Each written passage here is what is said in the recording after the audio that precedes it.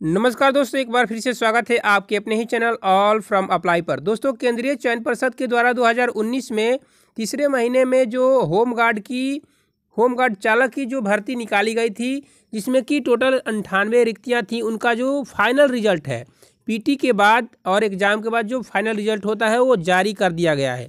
तो दोस्तों, आप कैसे देख सकते हैं इसके बारे में?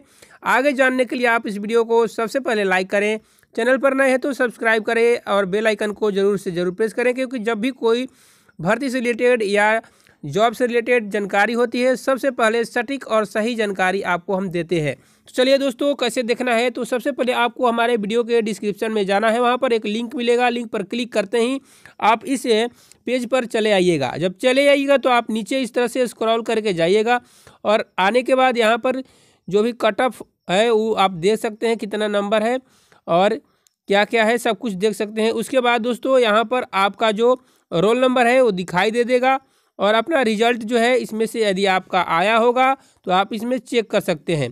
तो चलिए दोस्तों, मिलते हैं नेक्स्ट वीडियो में नई जानकारी के साथ। यदि इससे रिलेटेड कुछ भी जानकारी आपको चाहिए तो हमें कमेंट में ज़रूर बताएँ। मिलते हैं नेक्स्ट वीडियो में। जय हिंद, वंदे मात